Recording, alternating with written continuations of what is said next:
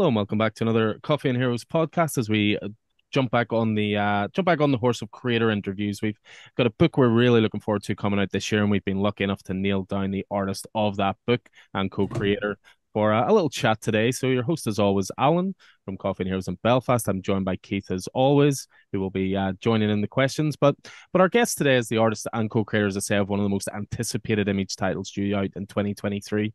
Uh, he's a native of St. John's, Newfoundland in Canada.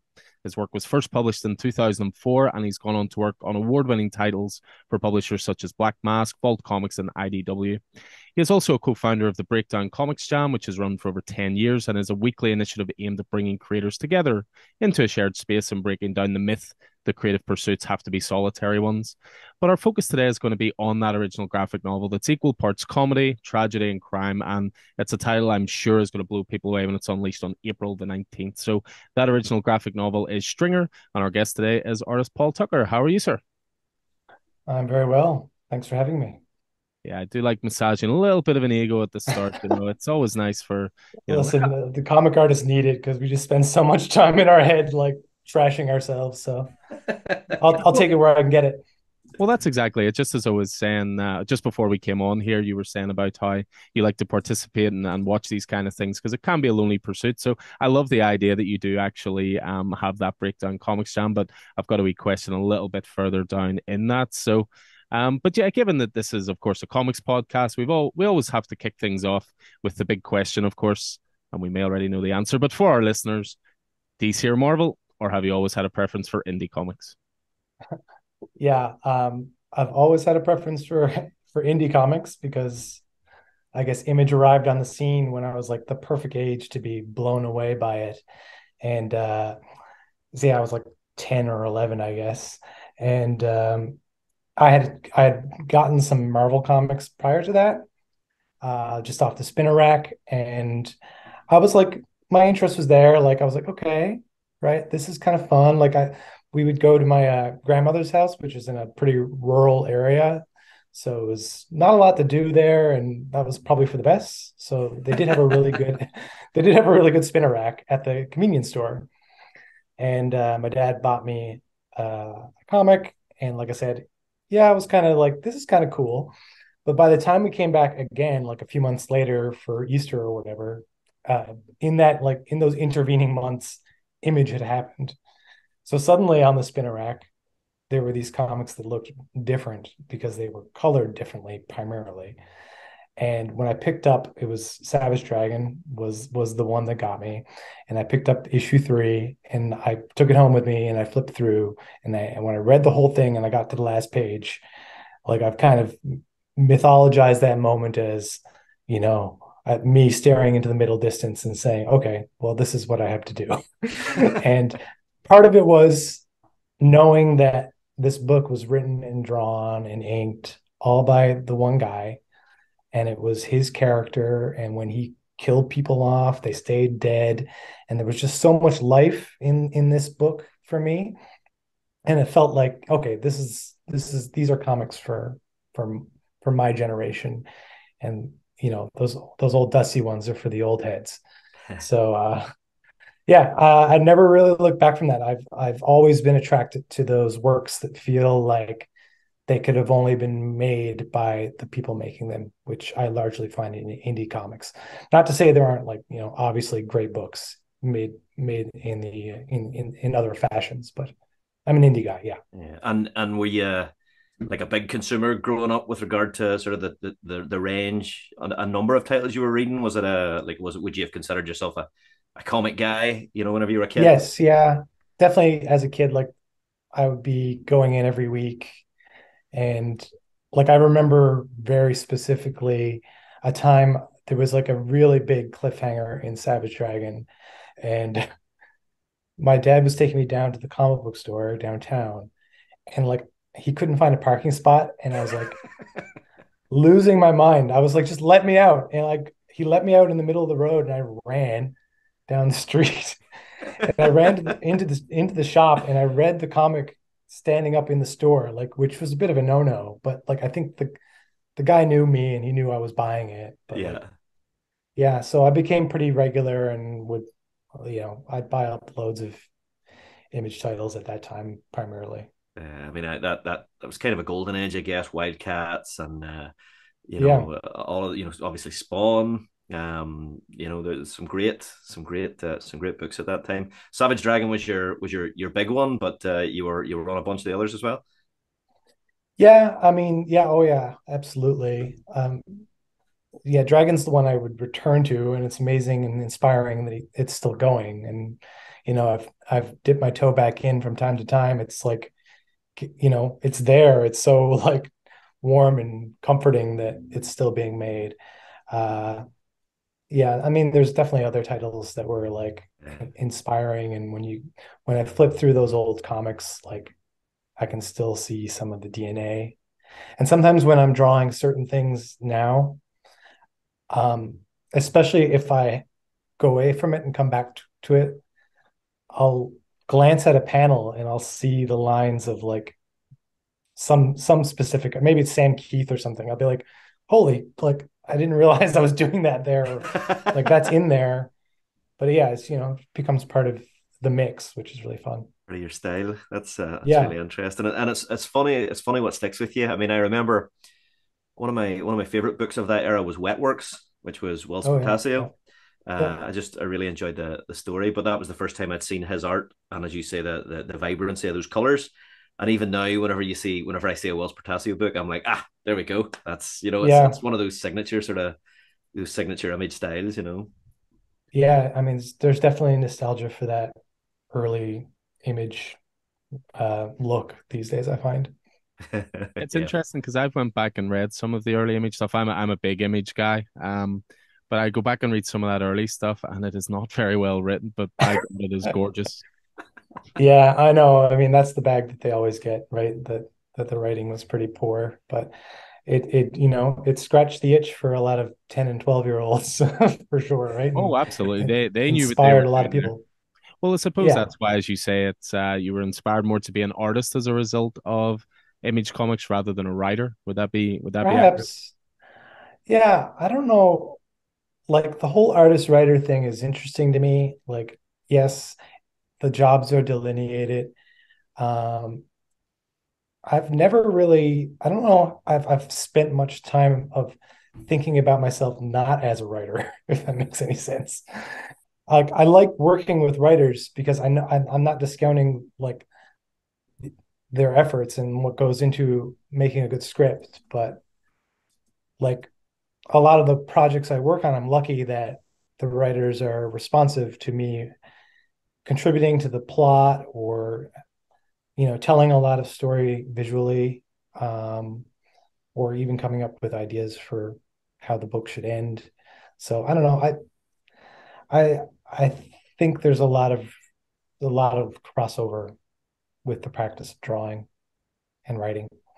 100% it's such a collaborative industry you know you can't have one without the other and and it's interesting because i we, we spoke about this before in store and on the podcast i mean we, we'll always say to follow creators you enjoy rather than characters. And nine times out of ten, you know, the the modern media would be like a new Tom King book or a new Chip Zdarsky book. They won't mention the artist, so to speak.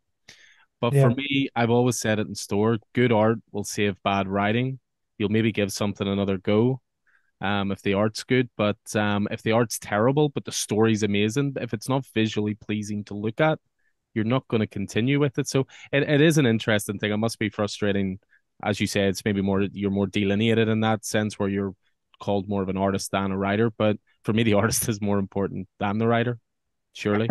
Listen, I'll disparage media. writer. I'll disparage writers all day long. No. I, I used to do that. no, no, I don't. I don't. I don't pick that fight in the comics world. Uh, I do, I, I've worked in advertising a lot over the years, and I used to always make fun of writers in advertising. But you know, if they can't, if they can't take me bullying them a bit, then they're yeah. bigger trouble. Well, this podcast is going to take a turn now, so I may need to just update the script with many attacking writers' questions. yeah. no, I'll not do that. I mean, you, you were saying there, you know, you like to work with uh with guys who are obviously very responsive to your input. It's not just a stay in your own lanes kind of thing. And I mean, the theme of your work seems to be that you work with the same creators again and again. I mean, this certainly applies to Patrick Kindlon, who of course you worked on Stringer with, and we will discuss a lot more later on. But also Paul Allor as well on Tet through IDW and Hollow Heart through Vault. I mean, how did that creative partnership come about with yourself and Paul? Was that um, something you met at a con, or he was he liked your work, or you reached out? How did how did that creative partnership come along? Because that's um, there's some great work yeah. through there. I, I, really enjoyed Hollow Heart. I must say that was a that was a recent one I enjoyed, very much enjoyed. Thank you. Yeah, I'm very proud of that work. Yeah, it's it's interesting working with both guys because like they're very very different writers and very different people. Um, you know, it's it's like dating. I, I've heard that reference before about finding collaborators that you like to work with, and it's hard. Like your sensibilities need to match up, and uh, I've found that with both those guys, and and I think they they they definitely like scratch a different itch. So I met Paul. I met Paul at a convention. I met him at New York Comic Con, but we had been like twi- Twitter friends, and maybe like there were some like email exchanges about trying to connect on a thing because we were like mutually admiring each other's work. Um, and and that kind of continued for a while until we had this opportunity with uh, with Tet and uh, we finally connected on a thing. And then it was honestly, it was kind of the same thing with Hollow Heart. It took a while again for us to to land on a project that had a that had a home, and I'm sure we'll we'll we'll work together again. Like, I feel like with with Paul, I get like to tap into like some emotional storytelling. Like his his writing is very full in that way, uh, and really beautiful. And like I like Patrick's like on the ground deep dive like nitty gritty exploration of certain subjects and his just pretty like wild approach in his scripts at times like he's a writer who will like often put a little apology in for like what he's about to ask you to do because he knows it's going to take a while. uh, so yeah. yeah, yeah, yeah. But Brilliant. both of them are really, uh, yeah, they're both very responsive to like my input and and and any sort of visual direction I want to take things. That's that that collaborative element again we were we were talking about. Yeah. Um, I mean, you mentioned that you you probably work together with with with Paul again. Do you have anything definitive in the in the uh, pipeline you can tell us about? No, there's no no big leads right now. No, I just like you know, I I just have a feeling that we will we will uh we will connect again. Great. Great. That's fair. Yeah. I mean, obviously, Hollow Heart, you know, it was hard horror sci-fi. Uh, whereas Stringer is obviously much more of a down to earth, you know, realistic art style. Do you think those creative shifts are important to your visual style? You know, do you like that challenge, you know, moving from genre to genre? Because those two books are very, very different to say the least. I know. Yeah. I'm not sure how good it is for me to uh, uh for my brand. but uh yeah, I don't know, like I I I am interested in in those shifts in in like how one might approach one project versus another. And like the the the works that we're that Patrick and I are are, are doing now have a lot of potential for that. Like we're we're hoping to do like a series of shorter things where part of my thinking was I'd like to be able to like jump around a bit with the look. Um, I find like I'm a little bit less like when I was a bit younger, I was a bit more like, oh my God, I want to like desperate to try like the range of like what things could could be. But these days I feel like it's coming a bit more fully formed, a bit quicker, like how I want it to look. And I'm just trying to like refine and get it to the like it's like every artist has always said it like you you end up working your career to like end up trying to make less lines basically. And that's kind of what i'm trying to do now is like learn the lessons from the last book so that i can like distill it into something a bit more pure for the next book. Um yeah i don't know. It's kind of hard to put into words but i am thinking about that like literally this week as i was like just putting some touches on on a new thing and, oh, and I was thinking very much about the the approach. Yeah. Cool, cool. Now, I mean, obviously, we want to get on to uh, to chat about uh, Stringer, and thank you very much for uh, for giving us a wee preview of that. Uh, yeah. We've uh, we've both had a chance to to get through it, but uh, just before we do, um, you mentioned Breakdown Jam, which which you're a founder of. Now, we talked just beforehand. I, I work with with musicians and quite a bit, and very often, as we talked about, like sort of visual artists, that can be a real solitary pursuit. So breakdown jams, as I understand it, is is about creating a shared space that folk can can come together. Could you tell us a wee bit about that? It sounds, I mean, it sounds like really laudable work. Yeah, it's it's been really rewarding over the years. So that was founded between myself and Wallace Ryan, who's the letterer on Stringer and was the letterer on Nobody's in Control. So he, uh, I, I call him the godfather of Newfoundland comics. he's uh, he's 20 years older than me. So when I was uh, very uh, young, I took a course of his. Uh, he was teaching comics here through the university, and my my mom got my brother and I into this course, even though we were a bit under the age that that was uh, wow. posted for it. Um, so he's become a dear friend and collaborator, and uh, he's just a great character, a, a, a, very fun individual. And so he and I, um, he he had uh, established a jam here in, in town prior to the breakdown jam, and that kind of fizzled out a bit. And then he uh, he, he had been moved away to New York for a while. When he came back, we decided time to get the jam going again.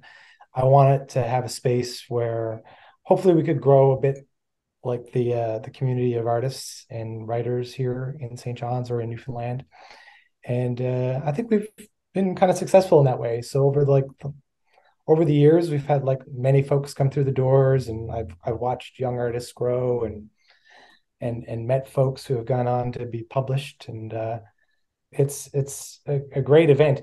You know, COVID kind of kicked it it kicked its ass for a little while, like it did many things, but we're we're back to doing a, a monthly event again, which I'm very Fantastic. very happy about. Yeah. Yeah. And it's just cool. Like it's always been all ages. We do it on a Friday night just because we kind of want to attract the people who are like willing to go out on a Friday to do this. Mm-hmm.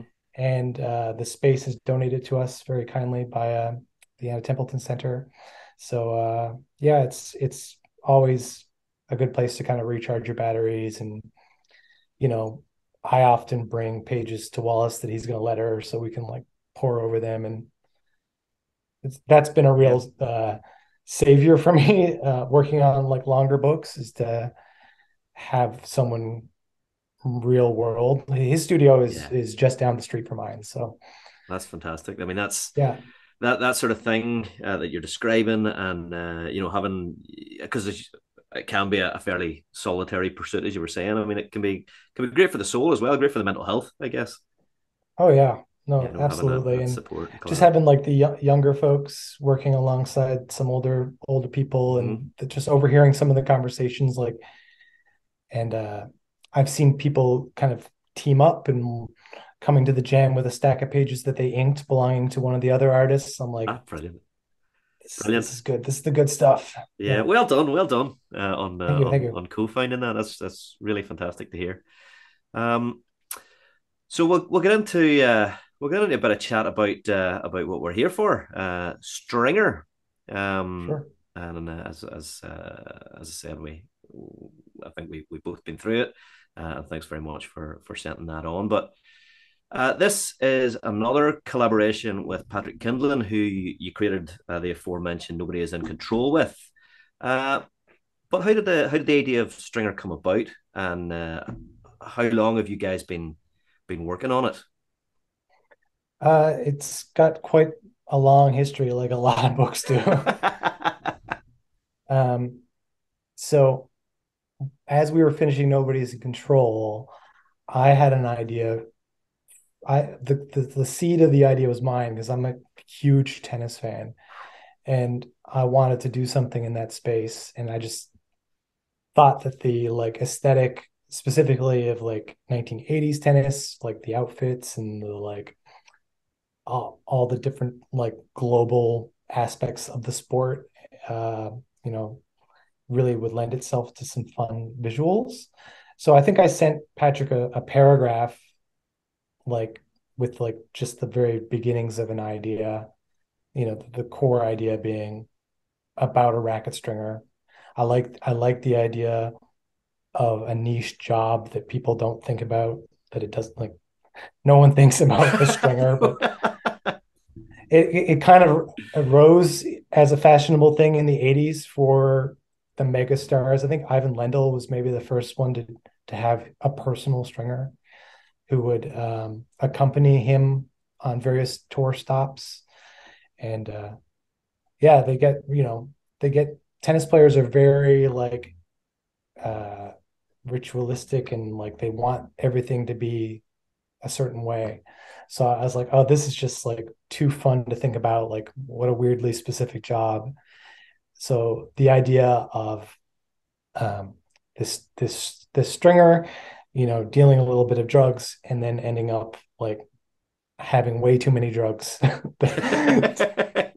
and then like uh, you know touring touring the world and and the and the and the troubles that will you know inevitably follow him. I'd have to go back through my emails. That that was probably that might have been 2018 when i sent that email which is a long time ago. Uh-huh. but uh the the project actually got greenlit in 2019 and i started working on it. And then when covid happened i kind of stopped working on it because everything kind of got the, the publishing slate was like all getting pushed out. And i also had to do hollow heart and i was working a full-time job in advertising at the time. So i couldn't do it all. Um, so everything got shifted out and then i basically picked up again with uh, with stringer in 2021 and worked on it for well, a year and a half i guess but but the, the inevitable thing happened when I came back to it after being away from it for a year. I redrew everything I had done in in 20 at the end of 2019 and early 2020. It was just like it wasn't all pulped, but it was mostly yeah, mostly had to be redone. So uh, yeah, it goes back a while. It's always like a bit uh, harrowing to think about how long it, it it takes, but in my mind, in my heart, it was more of like from August 2021 till well a, a few months ago. yeah, yeah, and that's I mean it's that's a real it's a real interesting premise, uh, as you say the the that niche job, the idea of a, of a racket stringer and the the whole the whole uh, drug running side of it uh, and the sure. the international angle. Now I'm not a I'm not a sports guy. I'm definitely not a tennis guy. Uh, so you know, initially I was like, oh, hold on, but reading it now, it's it absolutely is is right there. Well, the tennis is the tennis is the backdrop, right? It's, it is, yeah. It's a it's a vehicle for a you know a, a series of offbeat characters that we kind of that kind of come and go, and I like that a lot in Patrick's writing. Uh, it happens it happens a bit in Nobody's in Control, but there's the sense of the characters that we meet along the way all feel like they're the main character in their own book but we only see them for a few pages and then then they're just gone and i i really like that like it appeals to me as far as my sensibility as a creator has never been like i've never been a like world building guy which i don't know if it sounds bad but i am character guy. And uh-huh. like there's a character in stringer who's just um the bar the bartender who uh, he only says okay yes. The french the French bartender per se. Yeah yeah. And like i'm like i love this guy. Like my mind goes spinning. Like i'm not a world building guy yet when i draw him i feel his life. I'm like like there wow. is there's backstory for him i don't know what it is but it, it exists right so a lot of them like a lot of movies i like are like that like I don't know if you ever saw The Hit, like it's an old movie from the 70s. And uh, there's one called Betty Blue. These are movies that just like, it's like kind of a road movie where you're, yes. you're just meeting meeting these wild characters as you go. And yeah. I love it. So much fun. To, bit, of, bit, of, bit of show not tell there, I guess. Yeah, I'm I'm all about that. Yeah, I'm yeah. all I'm all about that. I really am. I I like I like people watching and just imagining, you know, their lives. Their lives, yeah. Well, you say Yeah. you're not word building, but you know, entire words within a within someone else's mind, you know. Uh, Yeah, I guess it's like I'm a- I'm an abstract world buil- yeah, builder. Like I, I, it's all smeary and colorful, and I get a feeling and an energy, but like I don't know what this character's parents' name are. Like I don't know what Tim's ex-wife's name is. Like I don't know. fair enough. Fair enough. That's really interesting. Well, I mean, you had mentioned that it's set in the 1980s, you know, a lot to do with the aesthetic and, you know, what tennis was like at that time and so forth. I mean, first of all, kudos for set that specifically in 1983, a great year, year I was born. Uh, but what I was wondering with it is that this might be my old man cynical question, but I think, is there a longing to tell stories in a simpler time, do you think, you know, before the modern internet, social media driven sort of image obsessed time we live in now? You know, there's there's so many storytelling crutches you can rely on now, I think, through technology. And it's so great to see stories set in what I think is a simpler time. Do you think that's something that creeps into the work at all, or am I just totally overanalyzing things here? Um, I don't know. There might be some of that in there. I don't I don't know if I Like, could could a don't know if I cocaine mule really exist that. behind the scenes in the modern world where everybody has their camera phones and everything's being recorded and everything's like our lives are in HD now, whereas in the past it was maybe easier to hide in the in the background, as you say, for a quote non-important job or a lesser thought of job. Yeah, it's definitely there's something more fun about that. Like for especially for like a crime story of this nature, like it's kind of like hee hee, look what I'm getting away with back here, and no one cares because everybody's drunk or high on cocaine or whatever.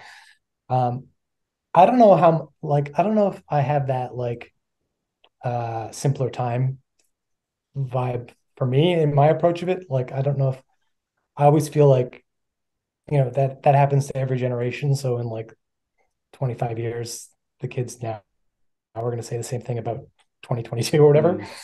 Mm. Um, it was interesting, like working on some of this during like COVID times, especially like there's these very crowded court scenes, and I was drawing that at a time when we were under a lockdown, and uh, and I think I had I had this thought of I didn't think this was going to be the science fiction fiction book I was working on today.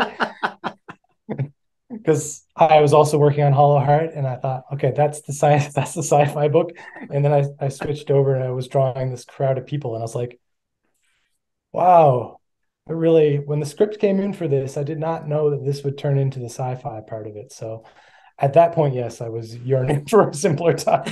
you were nostalgic for a room with more than three people in it. I know. Well, you know, fast forward, I actually went to the US Open last year. It was the first time I went went and saw professional tennis, and uh, it was very much packed, and uh, we were, we were back, baby. So yeah, Well, with regards to Stringer, I mean, was was Image Comics always going to be the home for Stringer? Was it shopped around different labels, different publishers, sorry, or was it always Image was the aim? um, we were lucky enough that like right when we were developing it, uh, Patrick was invited to like pitch to the to Image, so we were both very very excited about that, and uh, yeah, so they said yes, and it was it was always the home. Brought so everything full circle from that, you know, young boy going in and picking up Savage Dragon. It definitely, yeah, you you can't help but find the poetry there for sure. that's uh, that's great that the, the stars sort of aligned, uh, you know, in order to to make that happen. Yeah, yeah, you work on like so many pitches and so many things that don't go anywhere, and when when you get a win like that, you really you really got to celebrate.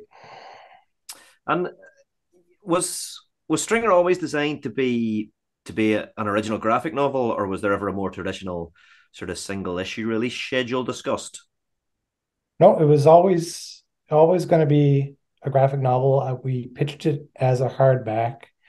Um, I was actually really inspired by um, like the the slimmer hardbacks, like the My Heroes Have Always Been Junkies format. Um, so I actually was thinking more novella, but uh, by the time Patrick was through with it, it was not a novella anymore. Um, so yeah, we work in a way where he's basically feeding me a chapter at a time, and I don't really know what's going to happen, which is pretty fun actually. I kind of I kind of like not knowing. Uh, but I I was kind of like I was kind of wondering when it was going to be done. this because, chapter keeps flowing after chapter. Yeah, the classic. He's not here to defend himself, but the classic email from Patrick would be like, "Oh yeah, here's a here's part five. Um, I think uh, I think we can round this out with a really tight part six. um, I'm like, all right, and then he'll send me part six, and but it's like just uh, it'll be a half chapter for part seven, and then he sent me that with an epilogue, and I'm like, okay. I mean, I'm I'm loving drawing this book, so I can't really complain. It's just I'm a I'm a bit of a uh, I'm a planner, I'm a calendar guy, so I, I kind of uh-huh. like to know where I'm going to be uh-huh. in a project. I guess you'll be uh, toes. You'll be glad to hear that uh, in reading it, you don't kind of think when is this going to end. Uh, okay, so so that so that doesn't uh, that doesn't cross over from oh, work. Yeah. It wasn't it wasn't in that way. Like I was it was more just like you know budgeting my time and how of course. when is this project going to be done. Yeah, I mean, you're you're very much speaking our language there when you mention my heroes have always been junkies. You know, we're uh-huh. huge, huge Baker Phillips fans. Um, the stuff they're doing with Reckless right now is is arguably the best work of their career. And I was wondering if maybe the fact that this got greenlit through Image was, do you think a lot of that has to do with the success of Brubaker and Phillips showing that you don't necessarily have to follow the traditional single issues, then graphic novel collection release format? Do you, do you think they've paved the way for sort of a new form of storytelling comics a little bit?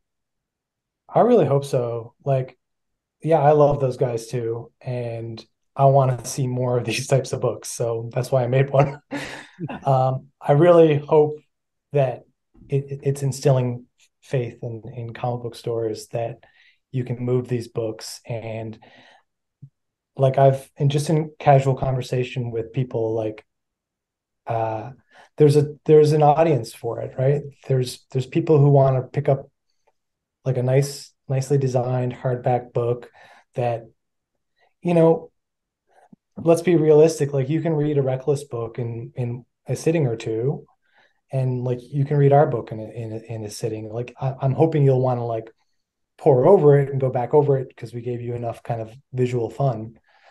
Uh, but yeah, I, I think they had to have like opened some doors. I, I can't really say I, I my dialogue with with image has been somewhat minimal throughout the process. Like uh, Patrick has the the closer relationship with those folks, but uh, I hope so. I'm hoping that we're not the only ones that are like. I it, it's. I I say all this and I'm like, I'm having that moment where I'm like, this is like I'm being incredibly bold, and being like, yeah, we're just yeah, we're just the next ones. Just, yeah, yeah, like it's Brubaker and Phillips. Like they've like been in the trenches forever, like making hits like crazy for decades. So uh, let me just apply a, a humble lens over all this and be like, that's all right, man. It's your interview. We, are interviewing you. We we hope that we can uh, follow in that vein, and we're definitely uh, inspired by that format, and hope others are as well. Uh, I take it. Uh, I take it. You've read uh, the Reckless stuff. Yes, I'm. I'm. I'm a book or two behind because I've I I I kind of limit my my comic reading these days is like every day after dinner with a cup of tea. Uh-huh. And my my partner got me the Akira box set, and I I finally just finished it, and uh, so now I'm, I'm, I'm finally moving on to some other some other books. So I'm a bit behind, but yes. Yeah, well, you've got uh, you've got some great stuff to look forward to. Uh, I am yeah, jealous of you. Yeah, can't wait. Yeah. Yeah, I mean it's I guess we, have talked a wee bit. You, you mentioned a wee bit the, the collaborative process there with with with Patrick, and we've talked a wee bit about about collaboration and you know yourself as as an artist and a, a and a thinking as a writer. You know, but I mean, with this particular thing, uh, is it sort of more staying in your own lanes, or is it a, a, much more joint creative process? It certainly sounds a wee bit like the latter with with regard to what you've referred to. Um, Yeah, we we stay in our own lanes a lot, I, I think. Um, like typically, I'll, I'll well with this project, I sent Patrick the the seed the idea, and then he sent me like the fir- whole first chapter Britain. Uh, I don't think there was much before that. There might have been a little bit more of a an expanded treatment that we showed image. Yeah, there definitely was. But then it's just getting a chapter at a time, and I usually don't have a lot to say, but with with the thumbnailing process is where a lot like I'll inject a lot of visual ideas and every now and then it might be like something a bit more or a bit more substantial like i know with stringer like i requested it like a little bit a little bit of a script change towards the end. And yeah but we mostly do, we mostly do stay in our own lanes i think. Like i really i really love get you know getting script from in my inbox is always exciting. So and then I uh, I go back with the thumbnails, and there's usually usually just says cool, and, and off we go. Very cool. Very cool. Yeah. Well, I suppose part of that is having the trust with, you know, working with the same person, you know, they're sort of writing for your visual style. But I guess one of the reasons we ask about it being sort of a joint creative process, you know, Stringer's a gorgeous, visually inventive book. I mean, some of the panel layout work I think is phenomenal, you know, whether it's, you know, working a roulette table into a visual joke or it's laying out points in a tennis game, of course, putting through your love of tennis, you know, through the ball's trajectory, or even just your double splash pages, establishing where you are. I mean, are all of those your idea, or do you and Patrick sort of talk through visual motifs? Um, a take lot credit of for it, it. Take credit for it if it's all your idea. No, yeah, there's a lot. A lot of that visual stuff is me. Um, like the roulette table was me. Uh, I know that I'm pretty sure. But like Patrick does make some pretty request interesting requests or like even just directional like like he he'll prescribe panels but sometimes it'll just be like uh the characters are going through a maze um it should be kind of disorientating like i don't know come up with something so I, I that that works perfectly for me like i i love the thumbnailing stage and I don't know. I don't know where the that major inspiration comes from. I, I feel like I must have read something somewhere at some point that really clicked with me for like doing fun stuff with layouts. Um, but I really, I really do enjoy that part. But there's, I, I, I don't want to discount like Patrick asks for some weird stuff sometimes, and uh, you guys were had a slight disservice. Like this book is going to be a little clumsy to look at on a screen because it's such a spread oriented book. And at one point, you even have to like turn the book upside down. Absolutely, you. Like, I feel like I, I don't know. Should I like mention that in this email? Like that, they'll figure it out. Yeah. but like, I remember that email. He had that part of the script. He had he had described the action as being like two separate scenes, and he's like small box, small box, big box you know, small box, small box, big box. And when I sketched it on my in, in my in my sketchbook, I was like, this is almost a tennis court layout. Ah, yeah. Uh-huh. Right. If I just switch the if I just put both the big boxes in the same, you know, opposite each other. Uh, and then I was like, well, the bottom scene is kind of like this grungy, like violent bit of action. Like, what if, what if the reader has to volley the book like a like a tennis ball. I'm like, am I just being like a pretentious asshole? But uh, not at all. That's when, uh... I, when, I, when I when I asked that question, I'm like, yeah, well, maybe, but just you got to do it.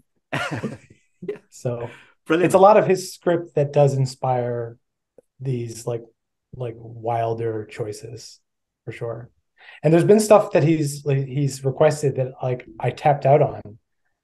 He he had requested a spread where um a, bunch, a bunch of smaller panels form uh, the negative shapes within them form the silhouettes of the two characters doing the kickboxing. Ah. Right. And I thumbnailed and thumbnailed and like I think I even fully drew it. And it just I could not make it work. I was like, I don't like to tap out. I'm like, oh, that one was too hard. Like, there's only so much time you can commit to an idea, and that one I had to like admit defeat to. Uh, I think what we did instead was still cool. Definitely. I mean, and, and I mean, there's there's there's even creative creative ways. You know that the balloon placement has gone. There's one one spread in there where it's just a it's an ever decreasing. It's it's almost like spiraling down a drain as he's spiraling. Uh, yes, you know yeah, the, the zoetrope spread. Yeah, that's the one. Yeah, yeah. yeah. Well, was... that's that's the joy of working of having Wallace like a ten minute walk from my my studio is. He's going like there's pages I bring to him where i'm like I'm leaning on you for this one because when your layouts are wild, as long as we feel like the your eye is following through the lettering, like I think we'll, we'll be clear, right? So I, I, I go over. I usually have it kind of like dummied in where lettering is already kind of roughed in there, and I'm s- slowly kind of anticipating some of Wallace's choices. Uh, but it's really fun to like work closely with him and make sure that it's going to be. And I try to give the comic to someone afterwards and be like, "Can you read this? Does this make sense?" I wonder. I wonder. Do you have to be a little more established as a comic reader to uh, to follow some of those? I don't know. I, I I try to give it to some people outside comics sometimes, and I I think I I think that most of this book was like pretty. It was pretty readable. I think. Oh, I, I like to think so. yeah, I mean, I'm I'm looking forward. I'm looking forward to to to to seeing the physical the physical thing uh, yeah, me too. you know, and uh, you know, as opposed to, to, to reading it on the screen, as you say. Uh, yeah. So, so, yeah. So, I mean, you mentioned uh, you mentioned uh, earlier on, uh, just a, just a moment ago, you mentioned Akira, and uh, and uh, I mean, speaking visually, I understand that you you spent a year in Japan teaching English. Is that correct? Uh, is it fair to say yeah. that that that that sort of more high paced kinetic style of of manga has has had an influence on your on your style? I think it's in there. Yeah, I think if I go back and look at some of the work I was making closer to that time that or the, or the work I was making when I was there, it's it's a bit more evident. I was like doing a bit more with like like diagonal panels and and motion lines and I did buy a lot of like screen tone that I still have from there and amazingly uh, some brush pens because like I I left Japan in 2007 and I used a brush pen I bought there 2 days ago and I, I I, I pressed in on it and the ink came came out the well and I'm like this thing still works I was just amazed by it so uh yeah just like the I still have some art supplies from my time there uh yeah I'd say like if if Akira is gonna like I don't know if I, I don't I don't want to even think about Akira trying to influence me. it's like that's the kind of book I can read just purely because no part of me thinks I can do this or ever want to even try to do this. it's like it's just, you know, it's like Barry Windsor Smith and Monsters last year. It's like all right, like I I can like it's it's the books that I pick up that are a bit more in my scope of what I like I'm trying to do where I I sometimes get distracted or like yes get yeah like I can't really fully detach myself. So yeah, I don't know. I would like to. I, would like to. I like to bring it all on board. Like I, I'm a big uh, movie guy, so I, I watch a lot of like you know subtitled indulgent Criterion Collection movies. Like nothing wrong with that. But uh, I know, yeah, yeah. It's just you know you're no fun at parties if you, if you try to talk about it. But like along, t- I I shifted to like a really early rise, like um, for my my drawing schedule, like ten years ago or longer, just because when I was working in advertising, I was so exhausted at the end of the day that I had nothing left in it in, in me. So I shifted to like a 5 a.m. rise. But as a result, now on the weekends, I tend to wake up like pretty early by normal people's standards. And my other problem was I always fell asleep during movies. So I, I put the two two together and I was like, I'm going to wake up on Saturday morning and I'm going to watch my, my subtitled movie in bed and it's going to be great. So I've been doing that for the last few years. And it just like, I like filling up the tank with just even movies I don't like. Like there might be something in it or some sort of visual or I like I like adding as much to the mix as I can to like hopefully like that's what I find interesting about art, like music and visual art is you find something you love and then you, you I like to study the its parts, its components, yeah. and then hopefully you find other stuff that you that's that's really fun and cool, and you can keep going backwards. Yeah, I mean, speaking of Criterion and you know not being fun of parties because of your love of subtitled movies and stuff, one of my favorites actually just came out there in a, a trilogy box set, uh, the uh, Infernal Affairs trilogy uh, which was the the basis for Martin Scorsese's The Departed. But you try to tell right, people right, yeah. Infernal Affairs is a better movie than The Departed, they just look at you and roll their eyes and go, "I'm not watching some subtitle movie when I could watch Marty Scorsese." Uh, phenomenal movie. I haven't seen I, I, haven't seen those ones. I, I don't oh, know. Are, are they on the channel? Do you know? Uh, possibly. It's just been released as a, a trilogy box set. There's three of them, but the right. Departed is about 150 minutes long. The first Infernal yeah. Affairs movie is about 95 minutes. It is so Ooh, like tightly it. packed. It is there's not an ounce of fat on it. It is a phenomenal piece of work. Um, and as I say, I think it's just that little bit better than The Departed. Although The Departed's a great movie as well. But yeah, yeah Criterion's an interesting thing though. Do you know what the first ever Criterion movie I bought was? And you would not expect it to be on Criterion. Like Armageddon or whatever. Armageddon, Armageddon was on Criterion. Although I, I stand by Armageddon, it's a lot of fun. And it has the best commentary you'll ever listen to Is Ben Affleck systematically um, cuts through the stupidity of that movie. It's really, really entertaining. but uh, I awesome. could speak about movies all day long. But yeah, getting back uh, specifically to Stringer, I mean, is this to be the first in a series of books? I mean, what can you tell us about Rabbit Hole, if any? Um, Rabbit Hole is is uh, is is kind of in its early days, I guess. I, I don't I don't know if I can really talk too much about it because nothing has been like set in stone but we are working on um, we're working on projects that very loosely can be linked. We we kind of make the Stephen King comparison in that there there can be like very loose crossover characters. Mm-hmm. Um, I mentioned earlier we're like working on some uh, some shorter works, uh, but I think what you can expect from us is everything we do will be self-contained. So even if it is more like a single issue project, they'll all be standalone stories. And I think Patrick and I are both like excited to continue doing graphic novels. And we have the beginnings of a new one, which does connect to Stringer, but um, is basically a different genre uh, it, it, it won't feel it won't feel it'll feel like yeah this is the same world but um, the thing we're developing is more of like a prisoner island sort of story. Cool cool. Um, that's that's very early days. Um, uh, yeah i wish i had a more concrete thing to tell you but that's that's kind of my uh, hope. Like I, I maybe off air i'd like to talk to you, you as a retailer alan about like why we're approaching it this way. Like i keep looking a lot into publishing models these days and how single issues are beneficial for creators because there's cash flow and for stores because of cash flow. But like you know longer runs are kind of questionable these days yeah, yeah. Uh, unless unless you got a big hit.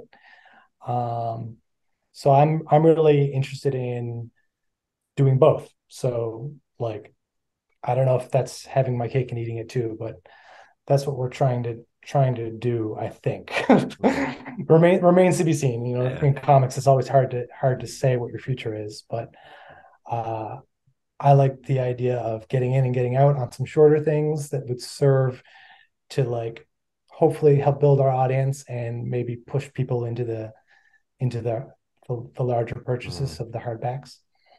Well, we less less said, easier mended, and I guess uh, we'll look forward to uh, to talking to you again about those things whenever they're uh, a little closer to fruition. Yeah, yeah, absolutely. I'm I'm here. I mean, as a store, I mean, I, I can only give my point of view on it, but I mean, you look at those reckless books for just as an example, and obviously those are guys at the absolute top of their, their, their game, and as you say, decades worth of works. But you know, we have people stick those in their pull lists just as quickly as they'll put, you know, a new single issue series on their pull list.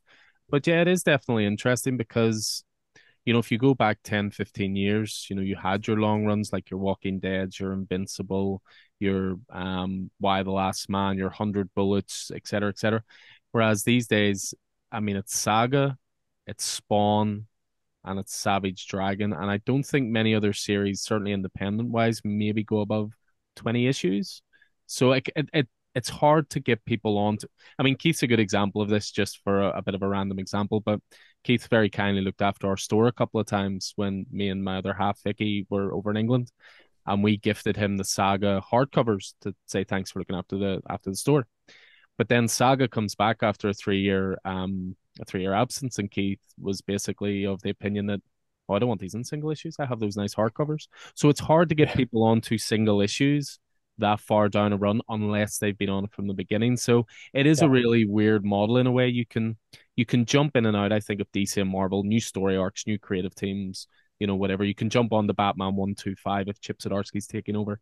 But I think an independent story, whether it's through image or boom or whatever, when they advertise jumping on points, I think they're slightly it's not really true. You kind of need the whole thing because it's the same writer the whole way through. It's the same artist. So it's it's interesting to know the creators are obviously looking at different models because it's it's obviously a very long standing model, single issues, as you say, cash flow combined for the graphic. Graphic takes uh, up the time in between story arcs, etc. But yeah, it's it's always interesting your creator's point of view on it as well as to what the best way and what the best way of telling your story is as well, I suppose. You're you're kind of you know you, you you couple that you know the the story idea. If it was just the story, idea, it would be it would be fine. You could switch between trades and and, and singles, but whenever you also factor in the fact that so many people who read comics are completionists or you know a wee bit of a wee bit of OCD going going on with regard to their collections. same edition, uh, sure. yeah. sure, but, sure, uh, sure. Yeah, just a, a final note just on Stringer. It was nice to see that a character, uh, Donovan, was former SAS and stationed of all places in Belfast. That gave me a little chuckle. Right. yeah, we did that for you guys. We saw we somehow knew. I knew. I knew. Keith, we've made it again. I mean, uh, absolutely. believe it or not, we have made it into a comic. Really, funnily, we uh, a few years back we had Clay Mann over in the store uh, for a signing, and uh, he was just getting ready to start Batman Catwoman at the time, and I joked at the signing, "Oh, you should put us in the book." He's like, "Yeah, I'll see what I can do." And then he never heard anything. He just thought he was being nice on the day. But if you actually look at Batman Catwoman issue 10, there's a fight between the Joker and Catwoman. And as they crash through a glass, they come out to the street and there's our store logo just above the shop that they came out of. So that was uh, nice. uh, that was pretty awesome. cool. But, but, we weren't around in 1983. You know, I was barely alive, so it's okay to leave us out of this book. But we did have advertising. Yeah, yeah, yeah. Subsequent volumes might be set uh, more in the in the future. So. Uh we, yeah. we always need uh, we always need extras in the background of our comics. Well, we, some of those uh, some of those court scenes. I don't know where you. Oh, yeah, absolutely. Some there was. I mean, there was some great uh, some great visuals, as Alan said earlier on. But one of my my my favorites was the, you know, the court scene, uh, and then the the the the the hellscape psych- psychedelic yeah court scene yeah and then the uh, you know the court scene, the you know below again with with with everything else removed and just the characters that are, yeah. I guess, significant at that moment. You know, it was that was a really that was a really and that was that was an example of where that was all as scripted. Now the details of what was going on in the hellscape, like that was that was left to me, but and that was also a like with apologies from Patrick, kind of like. this is going to be a this is going to be a pain to draw. ah, good stuff. Good stuff. Well, listen, uh, we do not want to keep you too much longer. You've been very, very good with your time. So uh, we'll just uh, we'll swing back to a few more uh, a few more general questions, uh, if you don't mind. Sure. And uh, I guess I mean because we're all we're all fans, we're all you know comic book nerds, and you know, do you still get a chance to to read and enjoy comics, or are you you too busy working on them to do that? Yeah, well, like I mentioned earlier, uh, I I felt like I had fallen into that, like too busy making them to read them kind of rut, which Mhm. a lot of I've heard from a lot of artists, but I was like, hell no, man, like I got to get back into this. Like I love it. So I made that conscious effort that, you know, after after we after we have supper and before before the chores, like I'm sitting down with my cup of tea under the reading lamp. So that's been really that's been really beneficial for me just to like get inspiration and you know keep up with the trades if you will. So uh yeah i i finally read berlin by jason lutes um which absolutely blew me away. He we were lucky enough here in st john's that uh through the university he was brought here to as part of a an exhibit that i was part of so i got to know him a little bit and then i but i hadn't read his his major work Mhm. and, and I did after the fact, and it, it made me cry. so I wrote him. I was like, you know, thanks for the inspiration. So Wow. uh, Wow. yeah, I I'm I I keep a good reading habit, a, a better reading habit these days, and I, I have lots of stuff here at the studio that I kind of like. Will just pick out more casually when I when I need a little break. Very nice. I mean, yeah, it's. I mean, it is.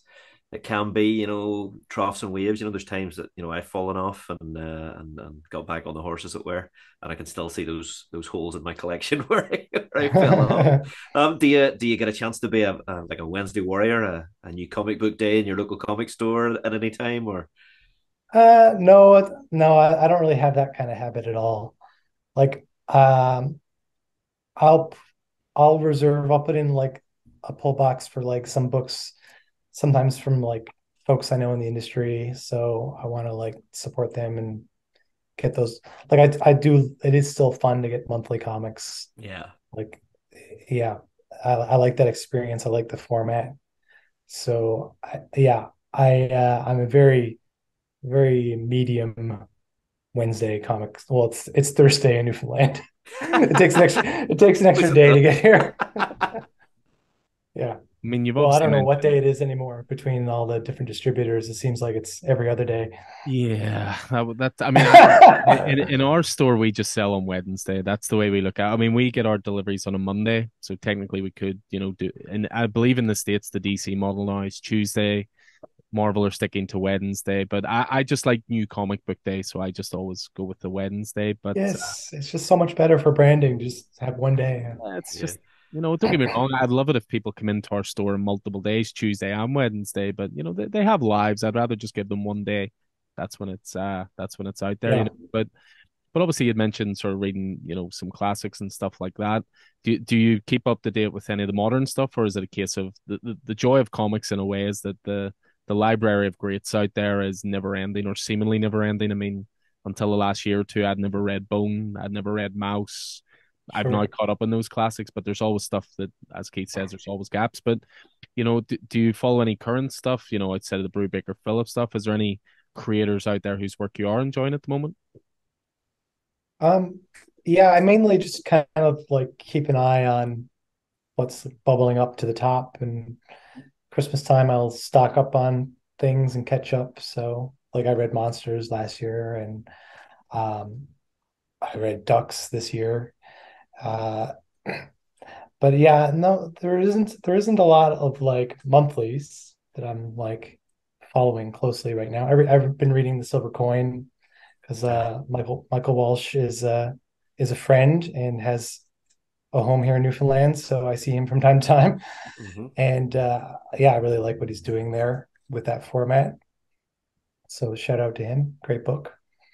Fantastic. another, Uh, another Walsh. Yeah, I read Suzanne, which is another uh, tennis themed gra- graphic novel that came out from Avery Hill last year from Tom Humberstone. And if anyone, if you haven't checked that out, uh, it'd be a fun book to pair with our book. Because it's very different because it's a period piece in the 1920s, uh, the Jazz Age, and back to an even simpler time, if you will. yeah, yeah, it's it's beautifully executed, and uh, I really enjoyed that as well. I really like Silver Coin for the reason that nine times out of ten, it's it's a guest. Um, if you have a creator-owned book like that, it's it's the same writer, but a different artist each time for an anthology book. But that's the opposite. It's the same artist each time, but a guest writer. I I, I really love the visual style and the idea. And some of the names he's attracted to that book have been phenomenal. Oh yeah, Ian, it's Ramsey, crazy. you know, Chip Zdarsky. It's I, I love Silver Coin, and it's great as well because it's a good example of you know it's one of those rare things about what I was talking about before. It's hard to jump on a book if it's indie later on, but with Silver Coin, each book's like a one Yeah, shot. You could kind of jump I on love into it. Ice Cream Man is good for that as well. Yeah, yeah. And I I picked up that was one where I did pick up some trades and I picked up some single issues because I had can heard from enough people because they're they're doing some of the like more interesting, like fun, formal stuff that I'm attracted to. So uh yeah, I, I like I like what they're doing a lot as well. And I mean, in that in that vein, uh, you know, the the the, the Michael Walsh, you know, the, the the artist sort of driving things. Are there any are there any uh, creators out there at the moment that you would uh, you would value collaborating with? Anybody on your on your hit list, as it were? Uh I don't know. I have these thoughts sometimes when I read or like when I'm really psyched on like partnerships, whether it is like Brubaker and Phillips or uh the the Ice Cream Man team, which I'm like blanking on the artist's name right now. Morazzo, Um, Martin Morazzo, isn't it? correct. Yes. My key Uh credentials are safe. That's good. I, I, I get more like just excited to like work on the things that, that I'm doing with Patrick or or with Yeah. with Paul, right? Um yeah, I sometimes feel like I should probably get get my feelers out a bit better and and be open to like working on working on something with somebody new because I, I know it I, I know it could trigger something interesting. Um, yeah, I, I it doesn't enter my my mind a lot. I guess it, it does more in moments when like there might be a lull, but the last couple of years I've been pretty steady drawing things. Mhm. So I'd like to keep writing it while it feels like we're on something. yeah, make, makes perfect sense. Makes perfect Yeah. sense. Well, we'll wind down just with the last couple of questions. I mean, it, I kind of think I know the answer to this, uh, just based on you know how you get into comics and and your preferences. I mean, is there any desire as an artist to work for either of the big two, or do you prefer having the control over the characters you're working on by staying independent from their sort of pre-established worlds and characters?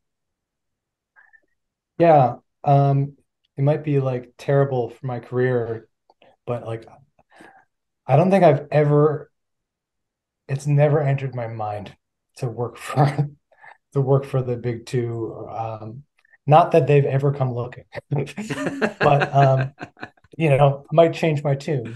yeah, yeah. Um, and the right pro project might might uh, might appeal.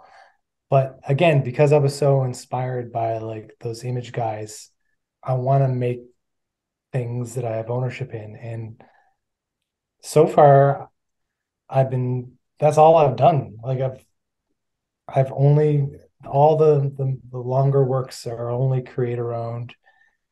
Um, I I have a hard time even mustering up the energy or the or I guess the enthusiasm to like do a sketch of of a of like a Marvel or a DC or even like in, another character that like an image character. Like I don't know what it is. Like I'm so excited to work on my comics that like if it's not the comic in front of me, I kind of have like blinders on and like it becomes a bit of a, a task. I'd almost rather do work in advertising because I at least know I'm, you know, that's going to pay a certain rate and it's sort of different part of the brain d- detached.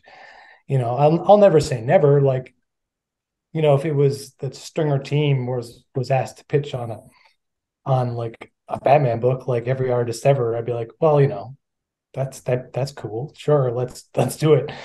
But it it's not something I spend any time thinking about. That's fair. That's that's actually a refreshing answer to hear because obviously so many.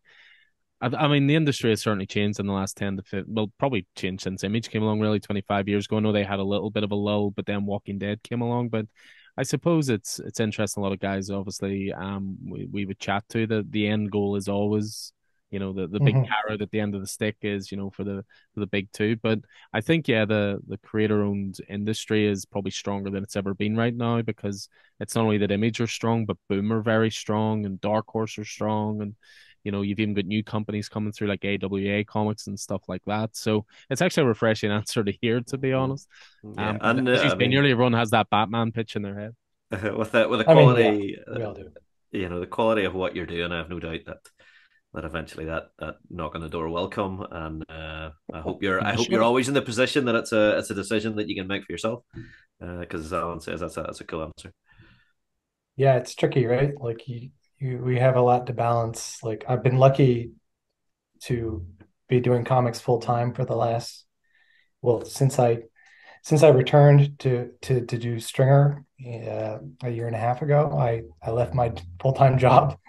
Just kind of like scary. Yeah, I know. I I don't feel that way all the time. Uh-huh. I, I, I still I still freelance like in the in the in the art direction world. Um, but you know, it, I'm I'm in a I'm in a position to do this now. I don't know if I'll be in that position for for a long time. So yeah, it'll always be a you'll have to weigh things and how much income you can uh you can afford.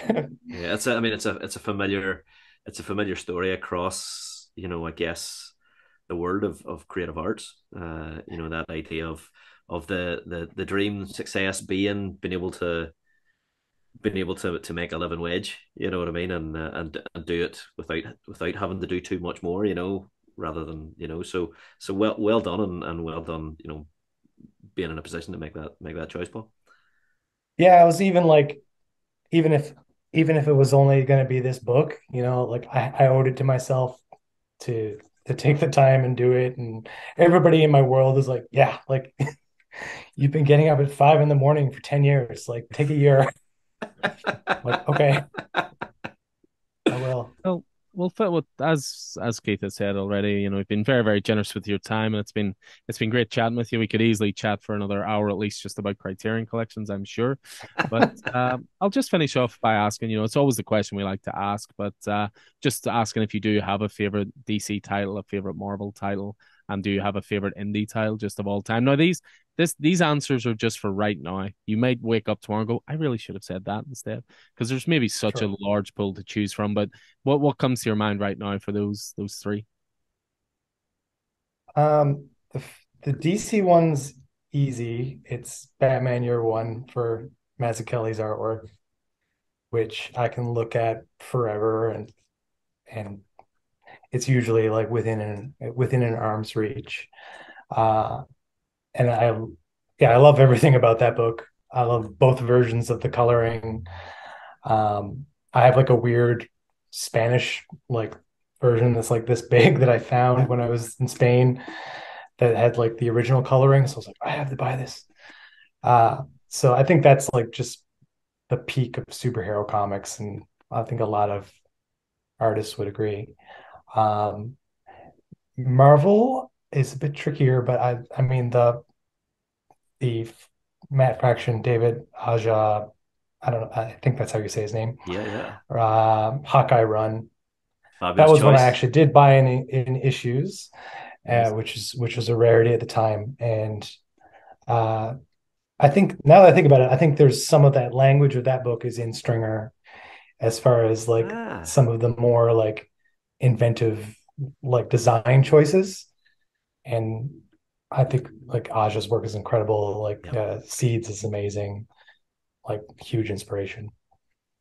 Uh, for the indies, I don't know if it counts, but uh, there's a volume of um, uh, Bernie Krigstein's work from EC Comics. I, I don't know if you call that the indie indies aid. If that qualifies, it probably wouldn't at the time, but uh, I think I think Fantagraphics published it. It's called Messages in a Bottle. Mhm. Um, it's it was I think the last job Marie, Marie Severin did before she died was to recolor some of the these stories, and I straight up like totally stole her coloring style for Tet back when I did that book. Uh, absolutely like Krigstein's artwork. Uh, it's just makes me sad that I don't think he ever did a story longer than 12 pages. But inside that volume, there's just such a variety of, of mark making. And he approached comics from a fine arts lens. Mm-hmm. And in fact, I think he only took up comics because he wanted the to put in the hours drawing. Like he thought, oh, this is a great way to just get lots and lots of drawings in. And then he fell in love with the medium. Uh, so yeah, I can look at that book endlessly. Uh, Beautiful. And uh, yeah, I'll give a quick shout out for Asterios Polyp as well, but also by Mazzucchelli because that that book just is uh, it holds a special place in my heart and uh, really uh, as far as a graphic novel goes, it it really uses the form and uh, very beautifully constructed. I half expected you to say Daredevil Born Again for Marvel just for Mazzucchelli. Again. Oh yeah, go for a Mazzucchelli trifecta. I mean, I don't think I've actually read it all. I've been picking that. I've been trying to cl- put that together in issues. I have bits and pieces of it now, uh, but I don't have. I don't have it all. And I found the Mazzucchelli uh, Adventures of Indiana Jones comics that, that he drew recently. I was like, yes, I like. I'm like, it's fun charting his artistic progression because it's it's a wild one. I think what you need is the large artisan edition of uh, Daredevil Born Again. There's a oversized with the full size artwork and then scanned original pages. Yeah. Wallace actually has a, a great. He, he calls it the Library of Graphic Literature, mm-hmm. which has its own YouTube show in his studio. So he has wall to wall hardcovers, and he's got many of those beautiful artist editions. So it's a it's a great tradition at the start of a project. Usually, I go I say, Wallace, I'm doing this book. Here are the here's the genre. Here here's some of the touchstones. And when I go over, he's got like books all like pulled for me to like. oh yeah, I know I know what you need to look at. So yeah, it's great. It's a great resource. I'm, I'm very very lucky to avail of that.